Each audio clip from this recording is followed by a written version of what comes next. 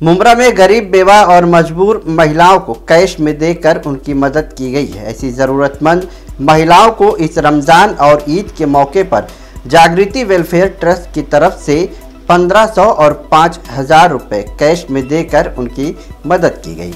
जागृति welfare trust के अध्यक्ष इरफान सैयद ने बताया कि पहले 35 से 40 महिलाओं का नाम रजिस्टर किया गया था और उनका नाम रजिस्टर होने के बाद आज उन तमाम महिलाओं को जो इसके हकदार हैं, उन्हें ये रकम दी गई। इरफान सैयद ने इस मौके पर क्या कुछ बताया है, सुनिए।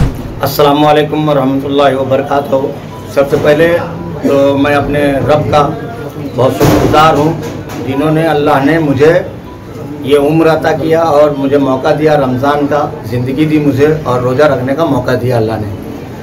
हम अपनी ट्रस्ट की तरफ़ से जो हमारे ट्रस्टी हैं, हम उनके बहुत शुक्रगुजार हैं, जिन्होंने मुमरा के गरीब, बेवा, यतीमों की बात को समझा और उन्होंने कैश पैसा देने का फैसला किया। मीटिंग में हमारी बात हुई कि जो भी होगा इन हमसे जो भी बन पड़ेगा, हम जो भी गरीब लोग हैं और विधवा हैं विडोस हैं, बेवा हैं तो उनको हम कैश पैसे रख देंगे। पहले हम लोगों ने सोचा था कि बैंक से चेक देंगे, लेकिन ये था कि ये लोग कहाँ जाएँगे रिक्शा पकड़ करके किसी के पास किराया है नहीं है।